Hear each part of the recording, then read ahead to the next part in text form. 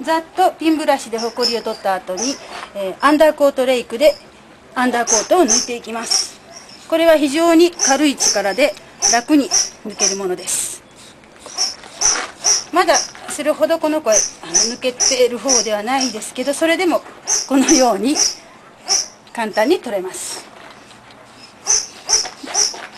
こちらをボディはこのアンダーコートレイクで落としていくと簡単にアンダーコートが抜けます。